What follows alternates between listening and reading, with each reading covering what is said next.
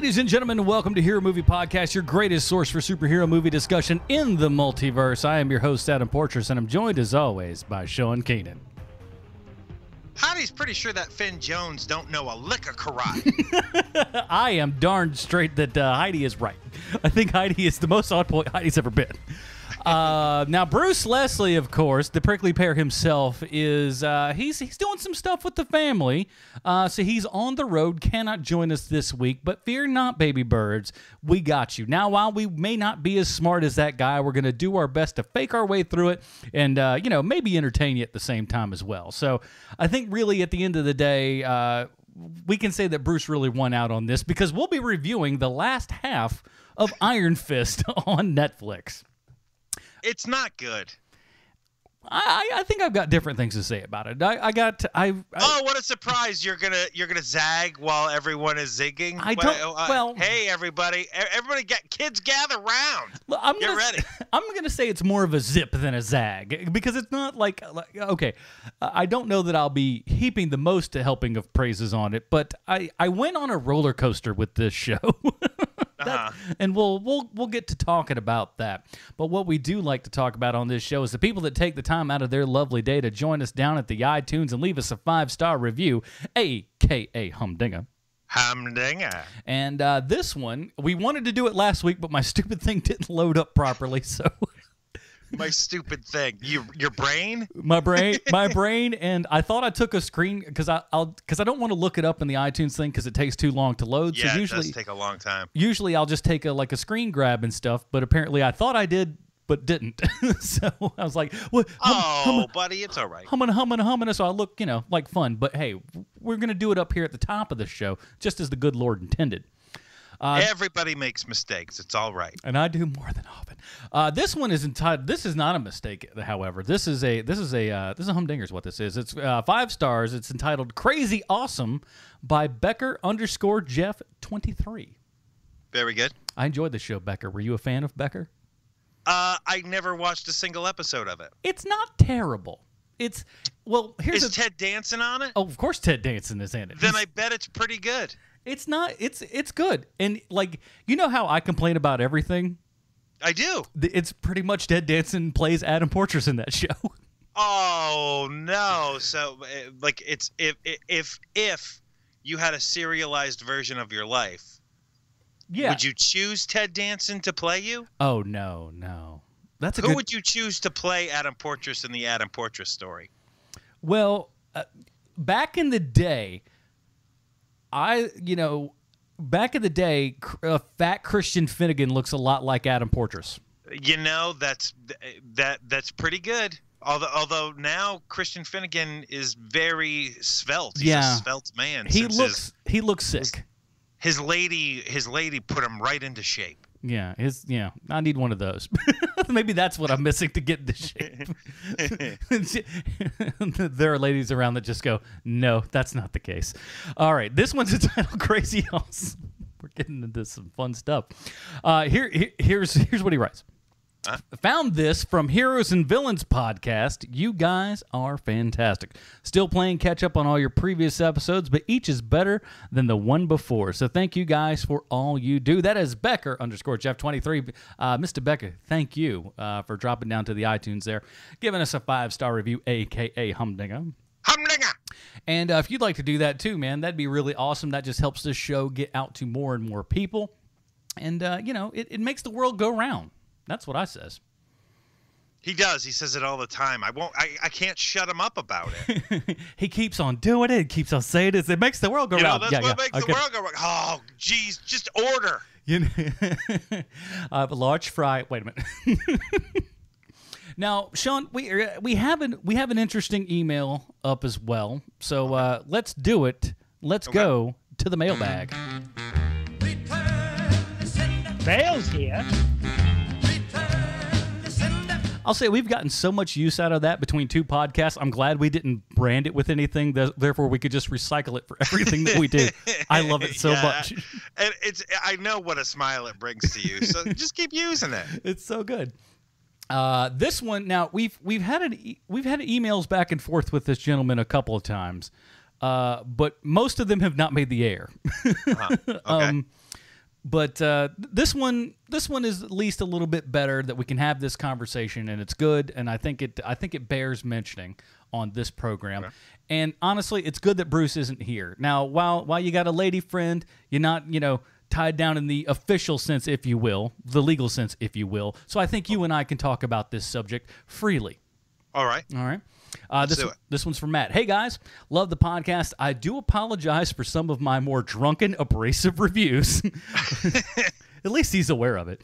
But I think that it's mostly due to I love Doctor Strange and you guys obviously don't. LOL. So he had a real big problem with our, us and the animated Doctor Strange thing, which I think we all turned around pretty much on live action. So you know, be that No, I didn't. I, I I wasn't a huge fan. Oh, then you're the jackass. Then, it's, yeah, then- he, he you yelled directly at me, Matt. That's true. Well, you, sometimes he deserves it. All right, but as much as I agree with almost everything else you guys have to say, I have a friendly grievance. Uh oh. You, you, I think you're gonna take. I think you're gonna take umbrage with this one.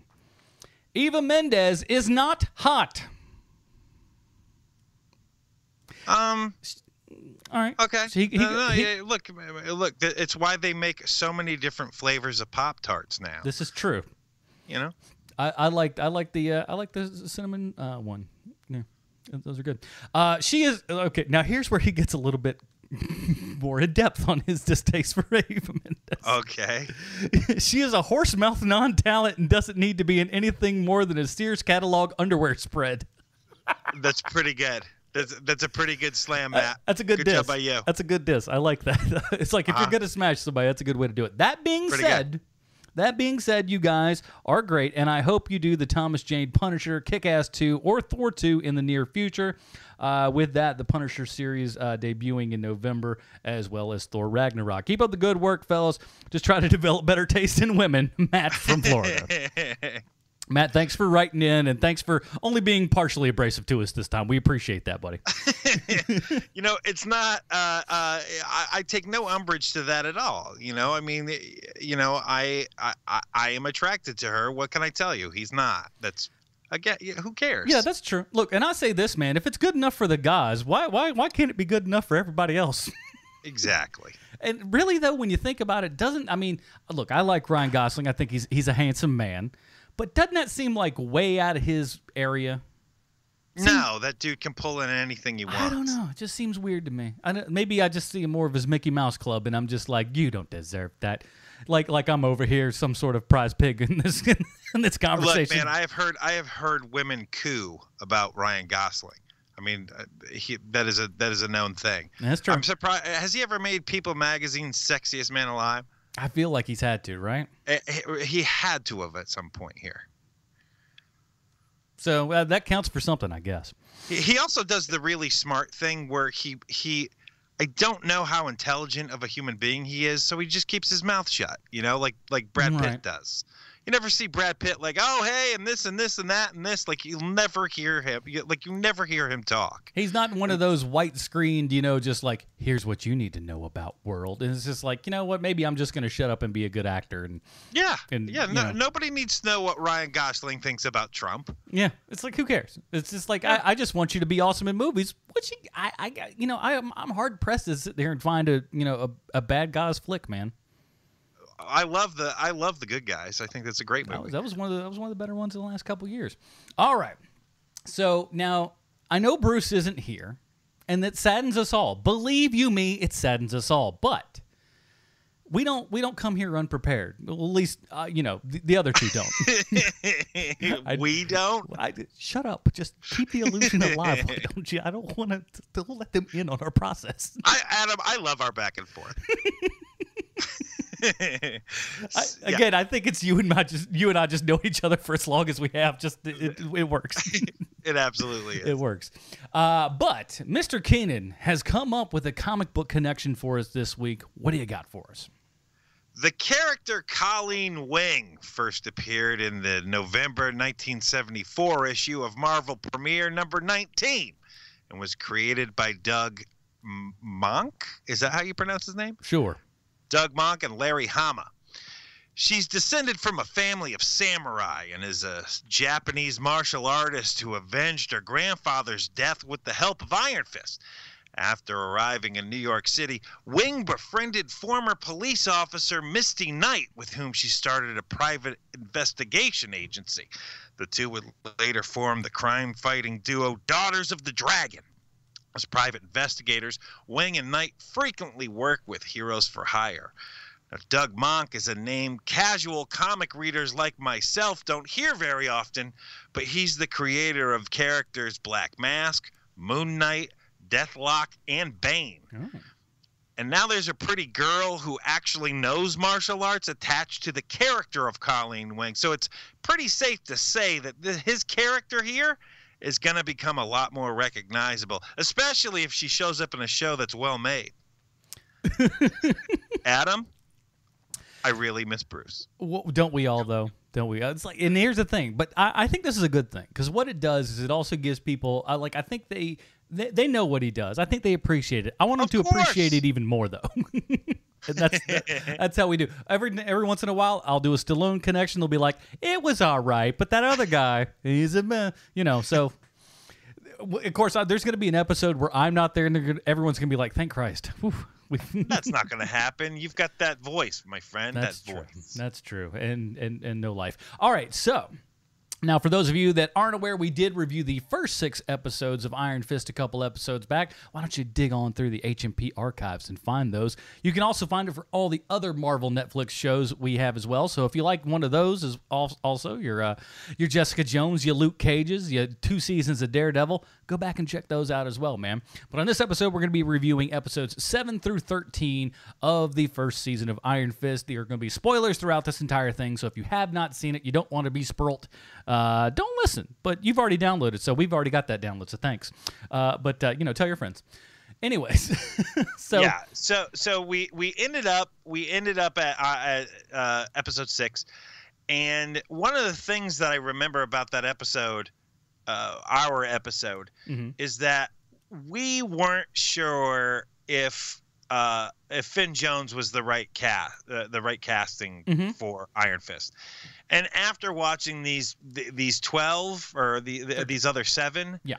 uh, it's not it, it's not a mystery anymore. Like he was not he's not the perfect person to play that character, and I get it because he's got the Game of Thrones prestige behind him. Mhm. He's just he's just poorly cast, right? But I, I, as I was thinking about it, I was like, you know what? He's not a bad actor, and he kind of, sort of looks a little bit like that he's he's drawn in the comic book. And there are a lot worse people you could cast as Iron Fist. And and just as I was watching the episodes, here's my list of people who I think would be worse Okay. as as Iron Fist. Right here we go. Tell me if you tell me if you agree. All right. Joey Lawrence, Yeah, not no. Mm. the actress who played Precious in the movie Precious, based on the mo- novel Push by Sapphire. Um, Gabrielle Sidibe, uh, n- n- they would have got a little credit for you know unwhitewashing, but yeah, that n- no, still no. All right, The high kicks would be tough. Mario Lopez Mm. from Saved by the Bell. Now he is built, but he's now while while he hasn't aged a day, he is in his fifties, I think. So I don't know that that could have worked. But no, I'm gonna say I'm gonna I'm gonna go a hard pass on that. He's too dimply. I, I agree. I agree. David Spade. Well, very similar in style. Maybe a little bit more uh, flat, but no, you're right. Okay, Finn Jones still better. Still, still, He'd be, you're still he'd winning, be Finn. way more snarky than Finn Jones, and he does have the blonde hair, which So- seems to be very, very important to Marvel uh, when it comes to casting Iron Fist. Yeah, so you're gonna kick me now. Uh, okay, I don't. I don't have a David Spade. I tried. That's look, look, you you have the ironic detachment, and that's the most important part. here's you. I want to kick and be Mr. Karate Man. This is me. Bye bye. There you go. and then he iron fists him in the face. I think that would work. Well, okay. Finn Jones still wins a little bit by there. all right, all right. The guy who played the banjo on Hee Haw. Uh, uh, Royce. I used to watch Hee Haw as a kid all the time. Crap, it kills me that I I, can't I- remember his name. I couldn't I couldn't remember his name. That's why I said it the way I said it. That works. Uh, you're right. He's probably dead. I think. Okay. I, I I only have three more. Here we go. Okay. Bruce Leslie. Hmm. he's see he's a squatty shaman, so it's kind of a little bit, but Mm-hmm. you know, I have seen his high kick. Not as good as Finn Jones, even though Finn Jones is. know. You have seen his high kick? Oh. In what in what capacity? Listen, when you're when you're walking through the mean streets of Charlotte and uh, things go down, you got to be ready. And uh, there's no person better to have by your side than Mr. Bruce Leslie in that accord. Man, he is a knockabout guy Mm-hmm. for sure. Uh, okay, here here's the last two. the kid from those Encyclopedia Britannica commercials from the 90s. Oh, a bigger pair of Reeboks could not be found. I don't think. you know what? It's just like, uh, what are you like a 22 year old Andy Rooney? Get out of here. That's exactly what it felt like at the time. and then and then finally, and this might be a dated reference, not that the kid from Encyclopedia Britannica commercials in the 90s is dated, but this one's super dated. Jim J. Bullock. Ooh. Now that's an interesting choice. Not one as that I Iron Fist. not one. See, as bad as you guys think that some of this casting might have been, could have been worse. all of that, all of that is way worse casting. Could have been a lot worse. But here's here here's my kind of uh you know we'll, we'll kind of get into a couple specifics that we thought were kind of big points and stuff. But overall, I think my biggest thing with this was that it honestly takes I think the entire series to really get through. Is that his character was kind of crummy on account? I guess it feels like they wrote him that way. the writing is definitely bad on this show um and, and it's it's the i i I- I think, and I really do think this. I think from the second half of Luke Cage till the end of Iron Fist here, I think that they use their their good writers for the Defenders show. Mm. At least I'm hoping that's what they did because for the last now, because it's what 13 episodes of Iron Fist hmm there's been 19 episodes of Netflix Marvel Universe that have been okay, but not great. Yeah. And so now here we are, where because the next thing up is Defenders, yes. hmm So Defenders is next. If that is a fail, also, do we start thinking about th- this entire universe, the Netflix universe, kind of the same way we do about Agents of Shield, or you know, uh, to go to a different a different universe, uh, the the um, the CW shows. Yeah, that's a good question because I think, especially with the defenders thing, uh, it's going to be a, quite the balancing act, quite the juggling act to get everything together and to get it to work right. Because one thing that they don't do, even all the way up until really the end of this one, while they always kind of plant a little seeds of a little bit of, uh, hey, here, here's like a slight little reference to some of the other series and stuff. These characters, the main ones, don't really make appearances, uh, save for like you know a quick Luke Cage, a quick Jessica Jones, right? In, in the other series, mind you. Well, Uh, we did get the we did get the nice Jessica Jones reference in I can't remember episode eight maybe of Iron Fist. Yeah, like I said, there's a they they drop a couple of hints and stuff, but they they stay out of it for the most part.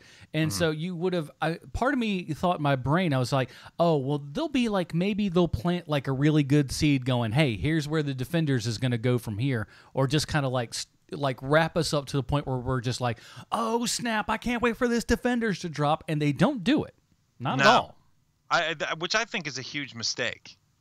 I think when I think when by the time that you're building this universe and you've gotten to this point, I think you have to leave that breadcrumb there for everybody to go, "Ooh, this is what's next on the plate." Although I don't remember what the lead up to, the, like our very last thing we saw before the first Avengers movie happened. What what was the last thing we saw? We saw what? I can't remember. Is it's Iron Man? Is it Iron Man two or is it Thor that was before Avengers? Oh, darn it. Um Th- that's an unfair question because the, the, the person the person who would know that is not here today. yeah, there's 15 of those movies. I'm like I'm like sometimes even I'm a little sketchy on the order and I'm like, "Mm, I don't But yeah, But I don't. I, but basically, to make my point here, I don't remember there being a massive push for like dun dun dun the Avengers. Yeah, but at least I- I'll say this: at least with those, they left with like your with your uh, post credit sequences and stuff. They usually left you with the they led a, a trail of breadcrumbs, if you will, to the next. You know what? It's Captain America: The First Avenger. You- that's, that's the right. that's the last thing, and it and it is a, a nice drop because it's him punching that bag, and you see him like knock the the heavy bag Mhm. off of its moorings, and and uh, Nick Fury walks in and he goes. Uh, you know, hey, let's try to save the world or something like that. Yeah. like that. That's a that was a really nice drop, actually. So- now that I think about it. so it. now that they're they're they're letting people know what's up and getting them in there and everything, eh, but but we don't really do that with the show. And I, I understand why they do it, but at the same time, I think especially by this point, you have to you have to let people in on the gag, if you will. yeah, But eh, but that being said, uh, the show kind of it, it goes on like kind of a circle with me. Like the first like three or four episodes, I was like, okay, I see what they're doing. Yep. I, I enjoy. Right around episodes five to six, and maybe really even into seven, I'm like, okay, we're we're languishing a little bit here. I think in the last like four episodes, three to four, yeah, really four episodes, it picks up quite a bit because I think the show really decides what it kind of wants to be. And I, I, I think you were touching on this last time is that perhaps this should have been shorter.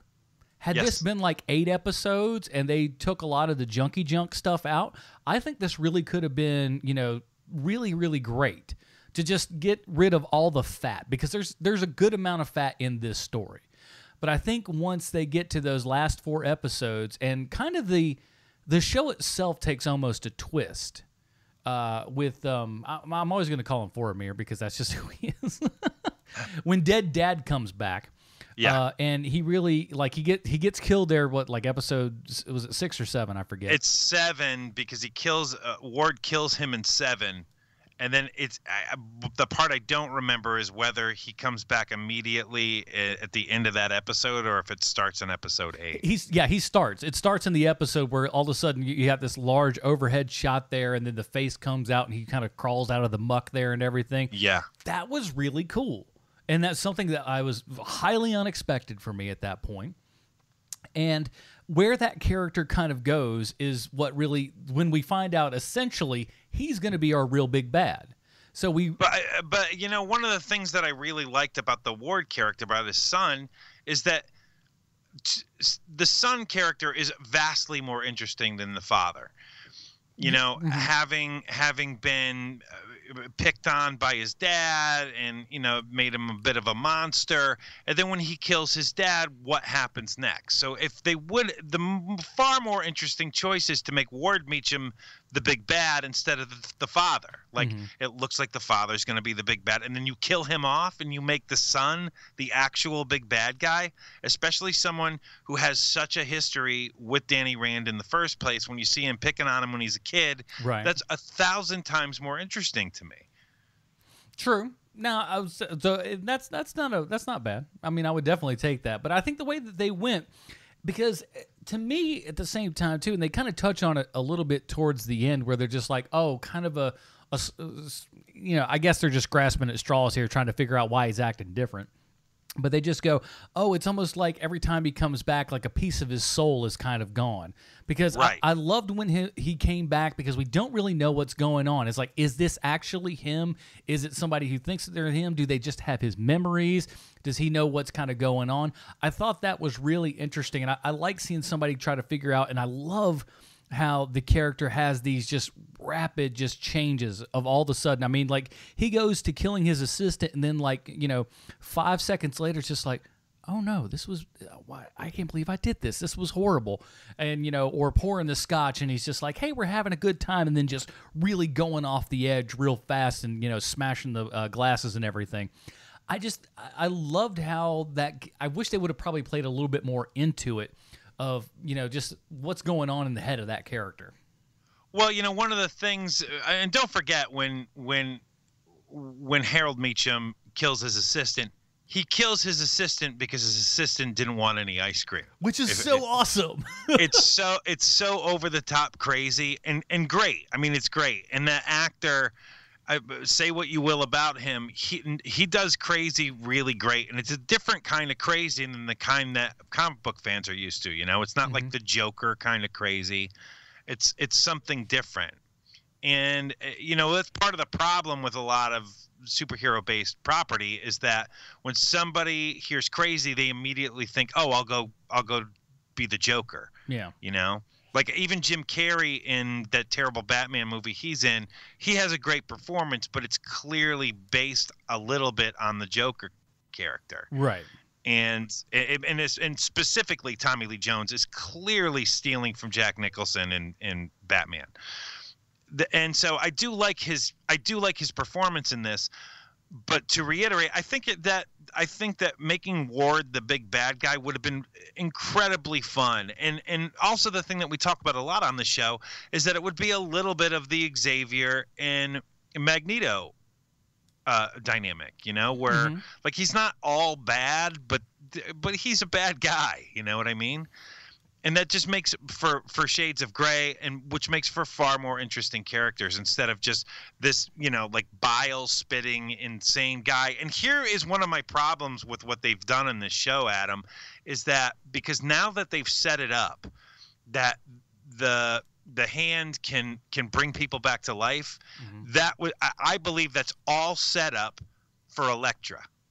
So that when Elektra comes back, she's going to be a little bit crazy because she's been brought back the same way that Harold was brought back. Hmm.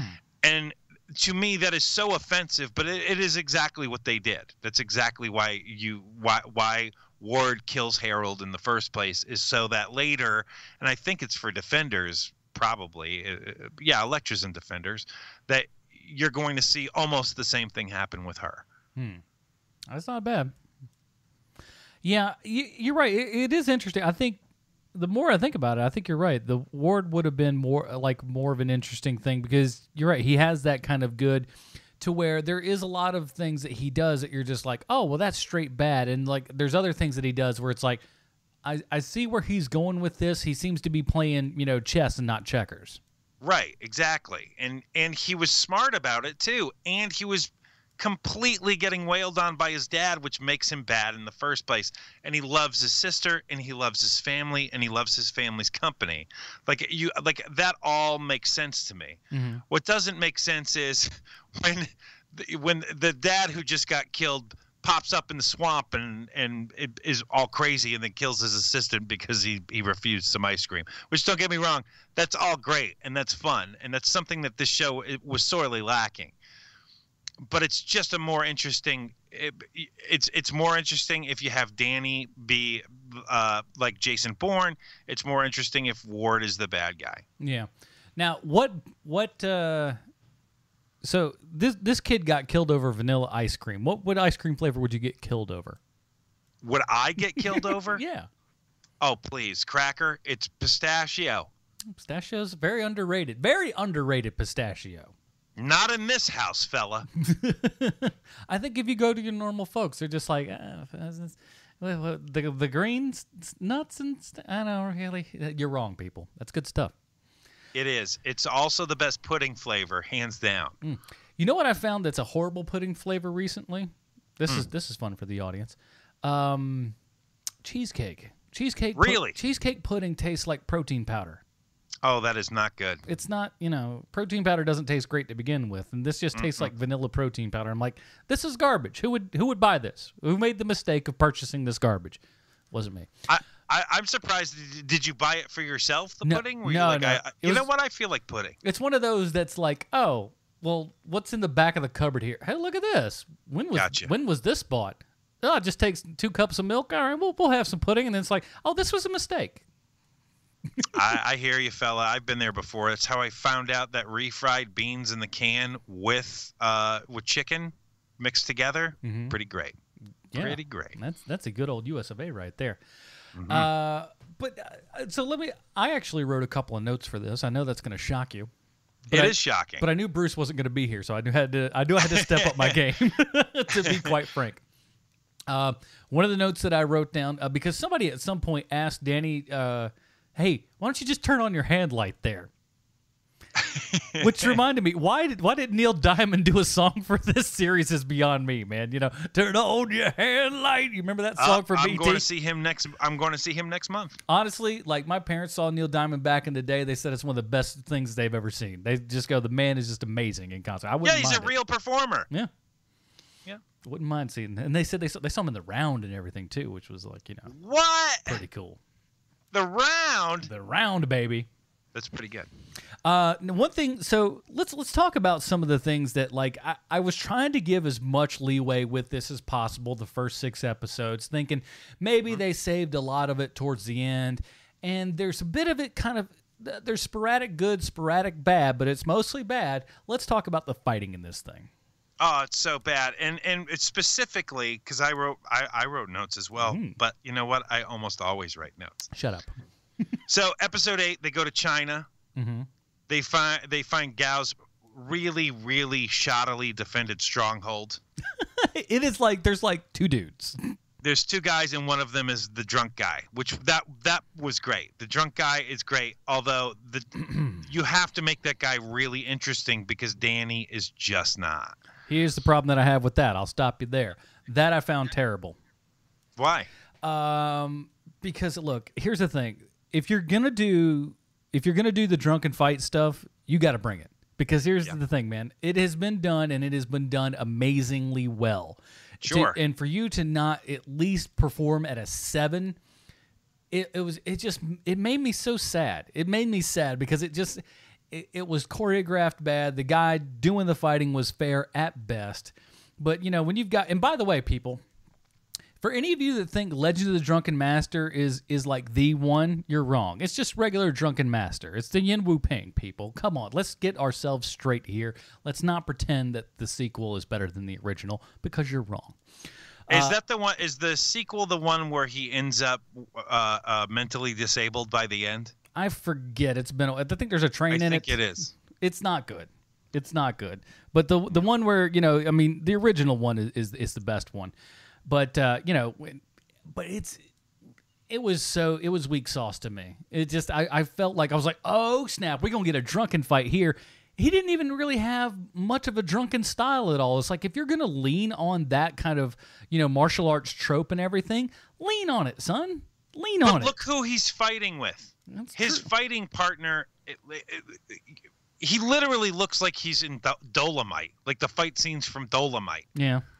because he, Finn Jones doesn't know anything about martial arts. Like clearly, clearly doesn't know anything about them. So of course the choreography with the with the crazy drunken master guy, that guy is not going to be as great because your your dancing is only going to be limited to your partner This is very true. and it, it's so bad. And then and then you have the flip of that where uh, Colleen Wing is fighting her lady, and that fight is awesome.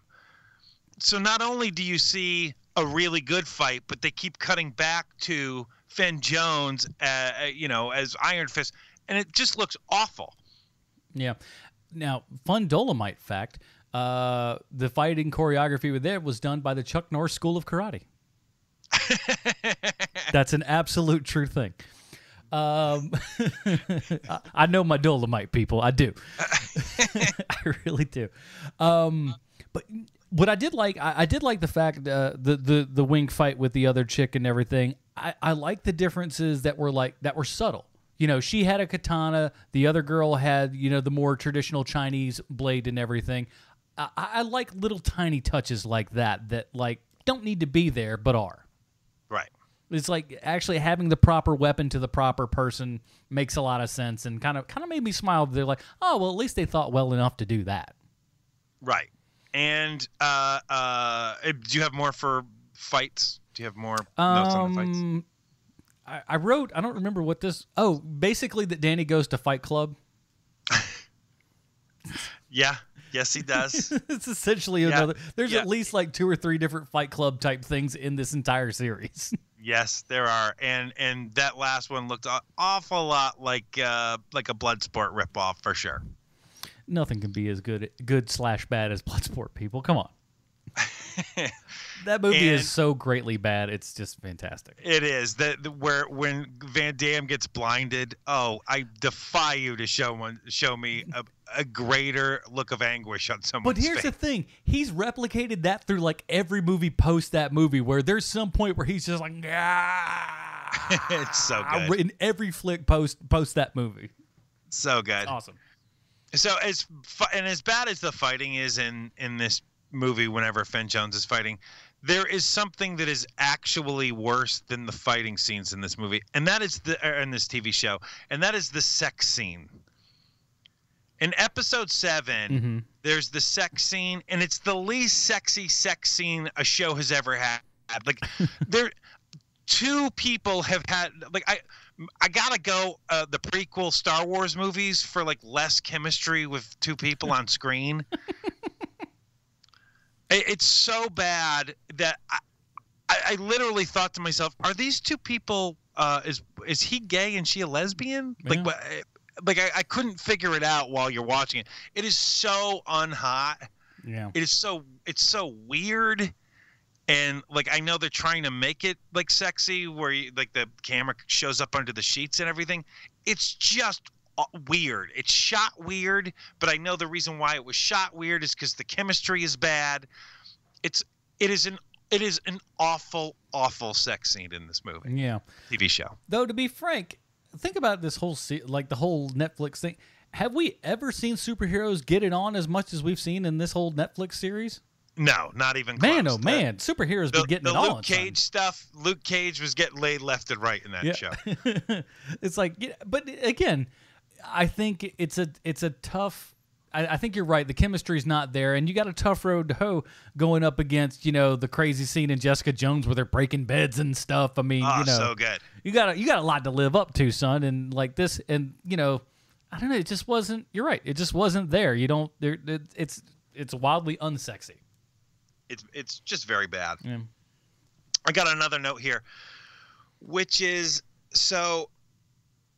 th- Here's another example of very bad writing. Is that you know Gao's Gao's assassins? They have the poison tip uh, weapons, and uh, th- their her own assassins are killed with their weapons with the poison, which tells Danny that oh Gao was responsible for killing my dad and the pilots on that plane, Right. you know, umpteen years ago.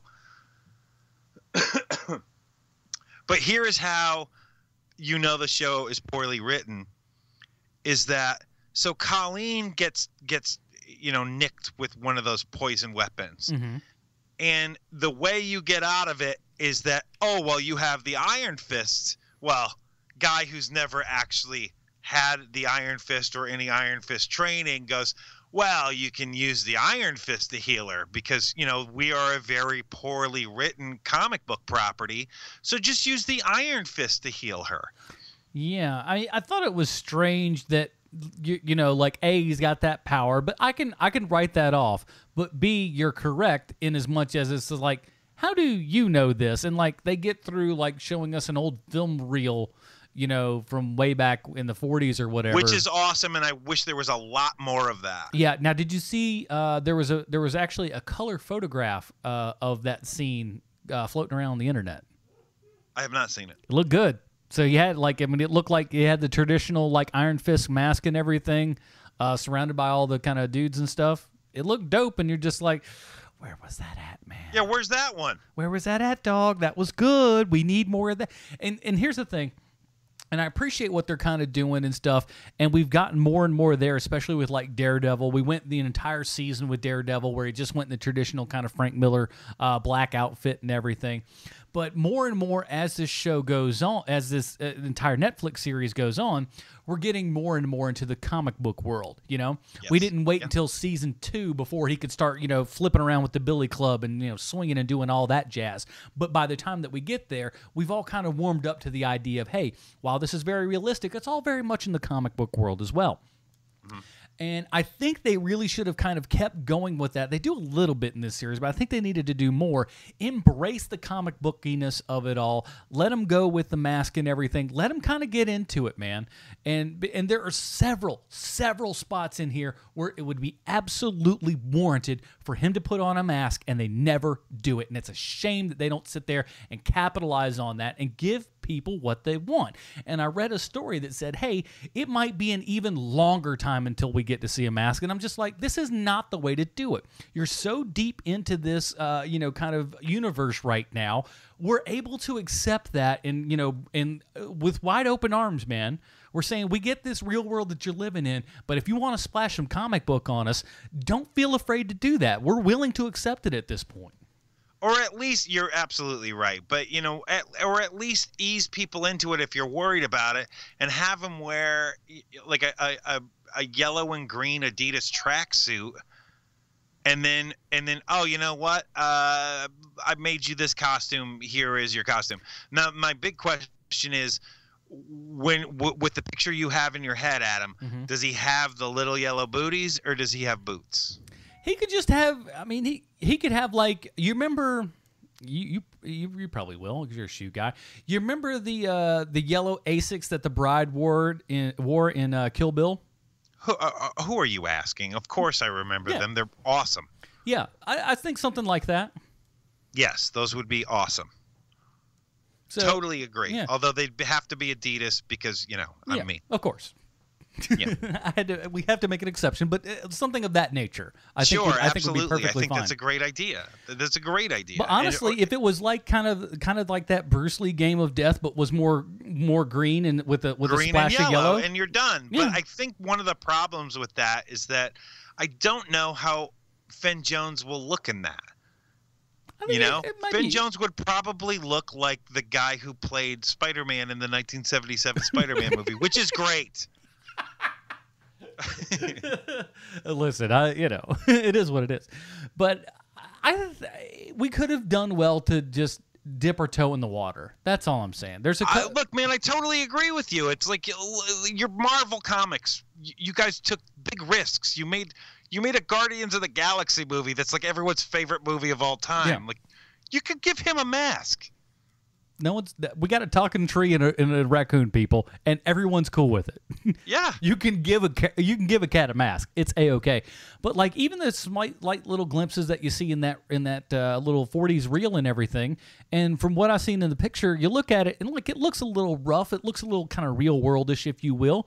It works dude. And it's just like just have the guts man. Just have the guts to step up to the bar. You've done so well so far don't wuss out and really just you know take the foot off the gas. That's a that's a mistake. Agreed. I totally agree with you. Uh, let's see what else do I got here. Now I will say this for for all the kind of things that this show kind of lacks and stuff. The uh, the music is great. Yes. The music in this is really, really good. Super kind of yep. synthy, almost kind of, uh, you know, what's just kind of like a Atticus Ross and uh, oh, what's his face from Nine Inch, uh, uh, Trent Reznor from Nine Inch Nails and stuff. That kind of uh, thing that he's been doing for David Fincher for a couple flicks. Mm-hmm. Uh, I love it. I think it sounds really, really good. And when that hits out on vinyl, I'll probably get it because I, I, I dig it. Wow, you think this will come out on vinyl? Well, the others have. All of them? Mm-hmm. Oh wow, I thought that was just Luke Cage that did that. No, they they brought out just recently a, uh, um, a Jessica Jones and a um, Daredevil as well. Wow, do you have those? I don't have those yet. I will get them eventually though. But, all right. But they, right. They, they, put them all out on Mondo. But uh, oh, I stuff. see. Okay. But luckily, luckily, luckily, those don't uh, don't end up like the uh, the prints and stuff, because the prints go in like two seconds. the the records and stuff they keep on for a while. So that's that's the good part but I, I, would I would I would definitely purchase those because and the Luke Cage soundtrack was fantastic as well. So I think that's something that they've really done well with all these things is have good music to go with it. And uh, I wonder I wonder what kind of style or maybe a mixture thereof that we'll get in the Defenders. So hmm. Mm. Uh, let's see, boy they how many hallway fights did they attempt in this thing? There you know this is one of the things where after defenders if they're still doing hallway fights I, they're allowed hallway fights and defenders because all four of these characters just fight in hallways all the time. Mhm. But after defenders, we better not see a single other hallway fight ever again in Marvel uh, Netflix universe. Yes. We better not. To quote internet memes, it's time to stop. Yes, yes. It's it's now the blue light into the sky gag. Mhm. It's the same thing. Let's let's get rid of this trope. You know, uh, defenders can use it because they've done it with all all the other shows, but it's time to end this. Yeah, and, and this one this one was obviously it seemed like either well I I, I don't want to say they've run out of ideas because it's just like all the fights in this except for like say for a couple of the wing fights those are fine but again I think she's more of a martial artist to begin with and I think that's why they can get away with it. Yes. Uh, the fights are just so lacking. It's just like there's so many times where it's just like, okay, when's the light gonna go out? Boom, there goes the light. Of course, because we want to keep this all in shadow because we don't know what the heck we're doing. Because our guy doesn't know karate. We're so just trying to make it look. Uh, oh yeah, it's all it's dark. Why do those like floodlights when they're down and all the dudes are doing? Why do the floodlights keep panning around like it's you know Hollywood Boulevard or something?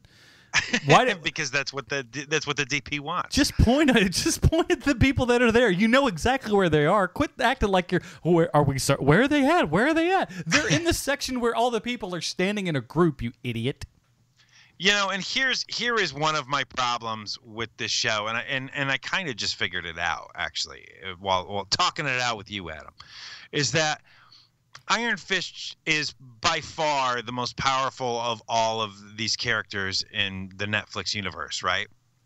So he should be a little scary, like just a little bit, where everyone's like, "Oh my God, that's that's Iron Fist!" Like we, we better we better walk away from him. There is not an ounce of that in this character, and that's not really that's not really Finn Jones's fault. That's that's the writers and that's the Yeah. directors, and like, hey, this guy should be a little bit scary, and they haven't done any of it. Uh, I think you're right. I think that really falls on the writers and stuff. I, I can't blame Finn Jones as much of this because, like, honestly, when I picture what I hope to be his relationship with Luke Cage, I kind of smile. I think it might be good if if they play it right. You know what I mean? But- Definitely could be. but I think I think you're right in that matter. Like, so let's let's take for example like one of the kind of final episodes there where he goes and does the fist on the like upper floor there, and it just kind of sonic booms out the entire floor, right? Yeah. Yeah. We needed something more like that uh, to happen earlier. We needed a couple. I, I know that I know they're trying to you know sprinkle on. Oh, he's just learning his stuff. He's trying to really get in there and stuff. We needed more of that early to to get that. You're right. That kind of like ooh the Iron Fist because ain't nobody scared of this cat. Nah, nobody cares. There's no menace to him at all. Because and of all four of these characters, he is the one with the with the legit power set that would make somebody go, "Oh man, we can't mess with that guy. right. But let's walk away from him." But everybody walks up to him just like I mean, I guess it kind of works to a degree, but they all walk up to him like, "Oh, you ain't Jack, man. I'm gonna, well, of course, we're gonna take you out." I, that shouldn't be, uh, or at least, and and it, and it feels like they were trying to build to that, but they didn't build to it fast enough. Maybe we should have been there around, you know, halfway through to where people are like, "Oh no, he's really got this stuff. He's a little bit more formative." Uh, but I do like how they have old um, what's his face in there, uh, Davos, who's like I, I who I'm sorry I can't keep thinking of the of the guy in Doctor Who. Uh, so, um, but he's in there. I, I like him and how I, I like that relationship of he was kind of up to be Iron Fist too, but couldn't cut it, but really probably should have been the guy that got it. I thought that was an interesting take, and I, I liked how they kind of put that in there, and to give us more of a reluctant hero. But again, it feels like they should have done that a lot earlier in there. Had much, that worn out much earlier. had that worn out and everything, you know, him come back and early and just say like, "Hey, I followed you back. You've got to come back with me. We can't do this anymore." You know, I was going to be this guy, but I'm taking responsibility. You got to get your butt back there. And then by the halfway point, have him really kind of establish his power, and then have the other people be afraid. Then have somebody who's a little bit that gives him that challenge, and then finish up like there. And then I guess you're right. Go along the Ward Meachum style and just be like oh I, I you know i really want to take this guy out but how can i because you know he was a friend he treated me like crap but i got to be the bigger man yada yada yada Yeah, exactly. that feels like that, would have been a better far more interesting story. yeah call us up Um, netflix so so let's get to let's let's get to the the the the end stinger here, Okay. right? Does that did, did, did that uh, uh, did that get you? Were you like, wow, I can't believe it?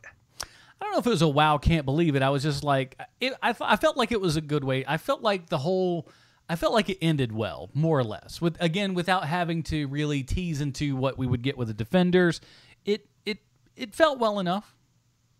For, see, for me, the only time we'd seen, you know, because I, I don't know why you wouldn't know this if you're listening to this, but yes, Kunlun is is gone from where it's Yeah. supposed to be, and all we've seen of it, the the only moments we've seen of Kunlun is when he's being beaten. Danny Rand is being beaten throughout the entire 13 episodes of this show by mm-hmm. those by those monks to toughen him up and make him stronger.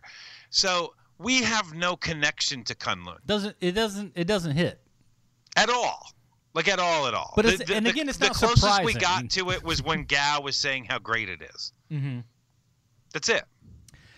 But I also I did I did I will say this because we didn't really touch on her that much, but I did like Gao throughout this entire thing, and I think that's one of the things that kind of like made these last like five six episodes better uh, than the first.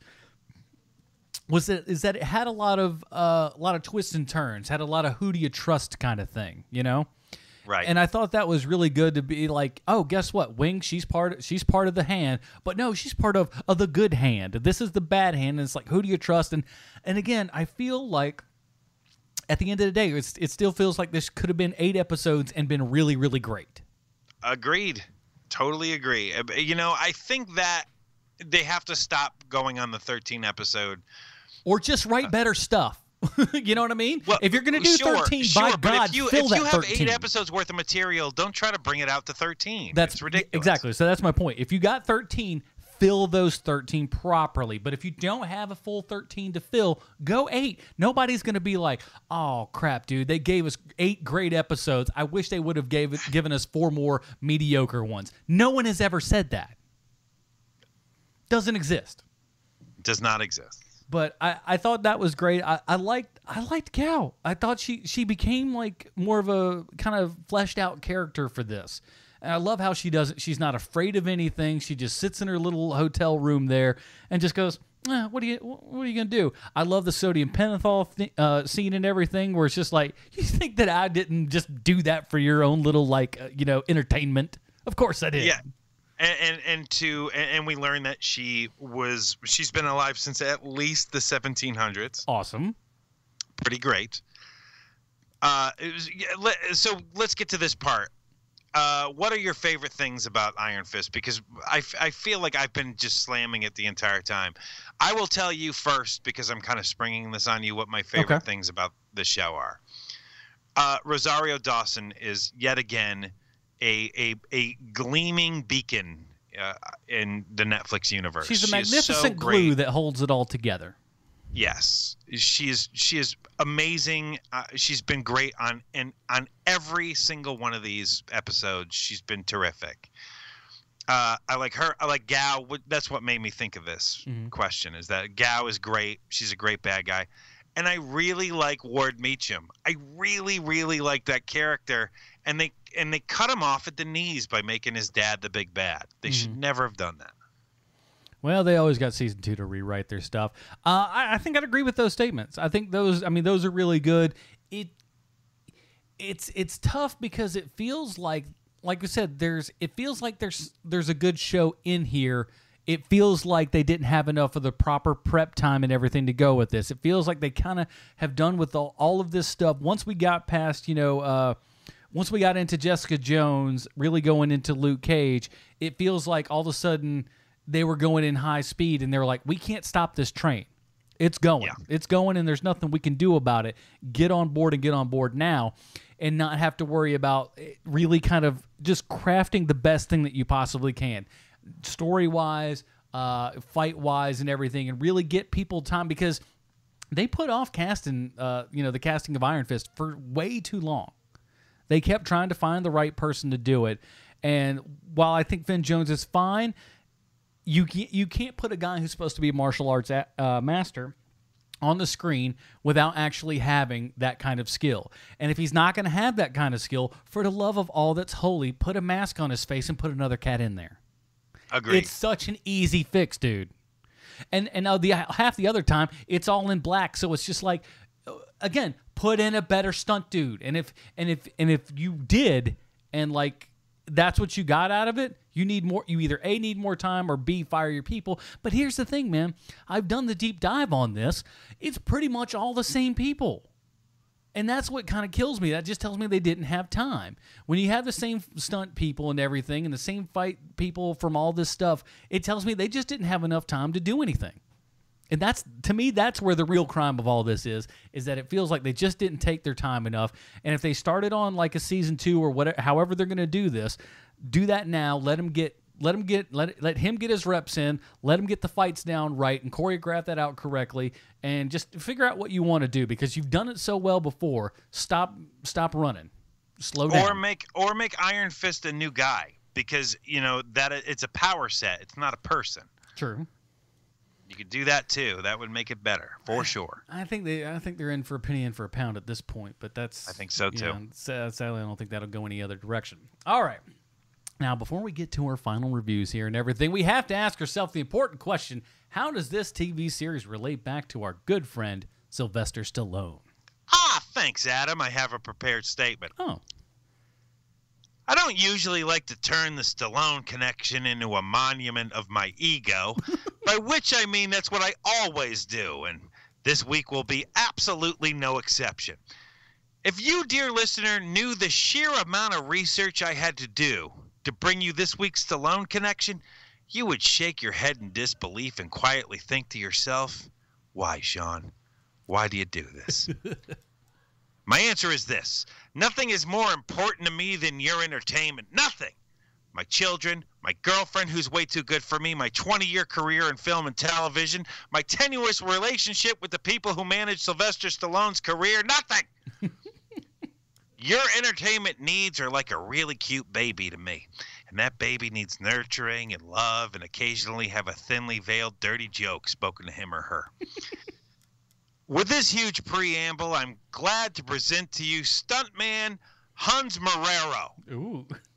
Hans Marrero, after no less than four hours of searching for someone, seriously, four hours, when Hans Marrero showed up, the sense of relief I experienced I've only found one other time. When my friend Andy Cox and I went to Florida as kids to see who could go the longest without pooping. in the middle of the fourth day, I couldn't hold it in any longer, and Andy came out the victor. At least that's the way I remember it. My memory has turned into an unreliable narrator, to be honest with you. Anyway, Hans Marrero is a stuntman that's been working since 2010 when he applied his services to the underrated TV show Terriers, where he performed stunts and played the role of illegal number two.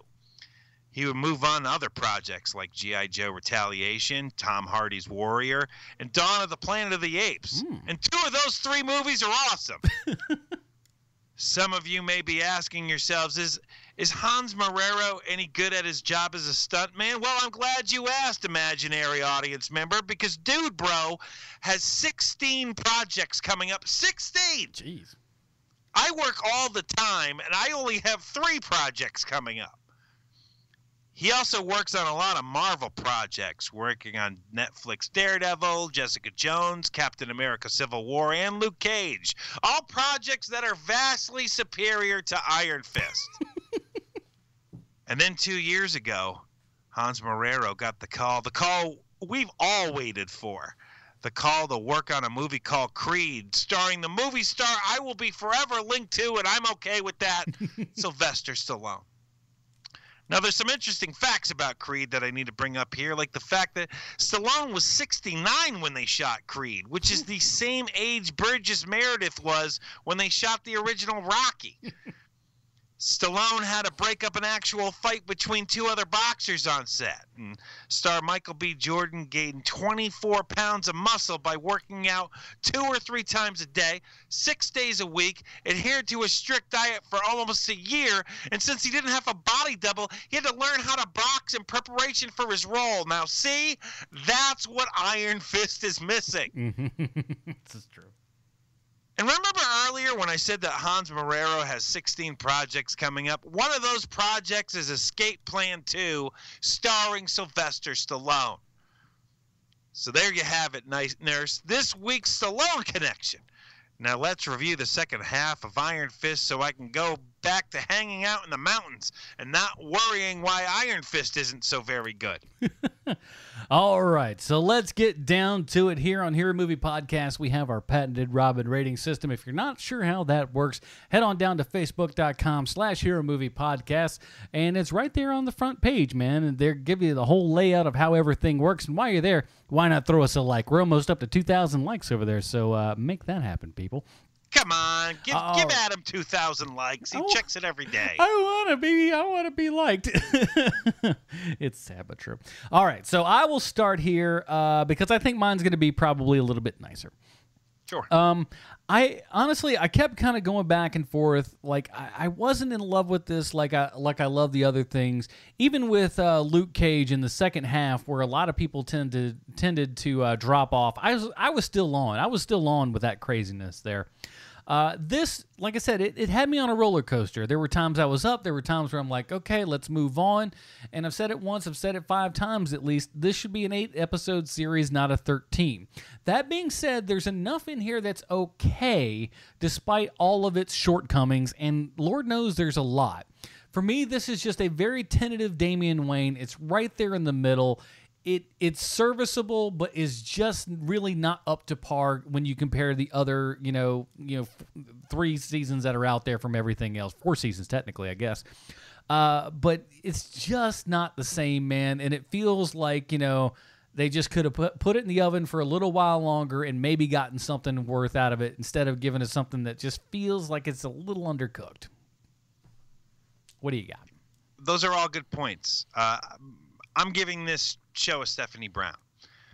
Uh, you know, it's not the worst thing we've ever seen, but it's also not very good. Yeah. You know, it, it's like I said the, at the first half of this series. It it's it's fine. It's okay. It's not great. It is a little embarrassing. It is not something that I would show people where I go, "Oh, uh, you want to get into you want to get into comic book movie properties? Let me show you this." This is definitely not something I would ever show someone. So it is a Stephanie Brown for me. No, I can't say that I blame you there. It's uh, like I said, mine was just tentative, so it's it's it's just barely there. Uh, but you know, we got the defenders to look forward to. Maybe he integrates into a team better. Who's to say? Maybe it's one of those things, and you know. But we got more stuff coming, man. They're they've already. Uh, I don't know if they've started officially shooting yet, but they're just if if not, they're just about to start shooting uh, the next season of Daredevil, and uh, Jessica Jones season two's already got a green light. So they're about to start rolling on that. Not too awful long. So and uh, I'm excited to see those things. the the Netflix world ain't stopping, kids. So be that as it may. All right. So next week, Bruce Leslie will be back. Do not worry. Uh, But we are, and he may he may have wanted to have uh, missed next week, but he's going to be back for next week because we're going to be talking about Legion. That's right. Uh, speaking of a show that went eight episodes, see Netflix, it can be done. Uh, Legion on FX that went eight episodes. We reviewed the first two episodes a couple weeks back. If you want to check the archives for that, but we're gonna round out se- season one here, tell people what we thought and everything, and get on down to it. And uh, the week after that, of course, will be our uh, Patreon uh, voting stuff coming in there as well. So looking good for that. Also, in the meantime, Sean, where can we find more of your work on the internet this week, sir? Why don't you look me up on the Twitter? That's Hero Movie Sean at or at Hero Movie Sean. And of course, Bruce Leslie, why don't you follow him on the Chubby Wizards there on the uh, Heroes and Villains podcast and get that book there, uh, Dragon in the Needles, available on iTunes. Uh, well, don't do it on the iTunes, you'll pay too much over there. Do it on Audible if you want to do the audio book, or it's on Amazon proper there if you're a regular book reading type of person. So, you know, head that up, people. And of course, my other show, uh, hopefully, the Film Find and Nerd Talk Now will be back. I've started a new job, so I had to have a. It's been a weird kind of transition thing. I may be retooling Nerd Talk Now a little bit, but I think it might be more enjoyable and maybe a little bit more bite sized and grabbable for everybody else as well. So keep on the lookout for that and all that kind of good jazz. And uh, that is it, everybody. So thank you guys so much for uh, joining us this week yet again. Uh, for the absent Bruce Leslie, Sean Keenan, I'm Adam Portrais. Stay super, everybody. Bye, Marty and Evie.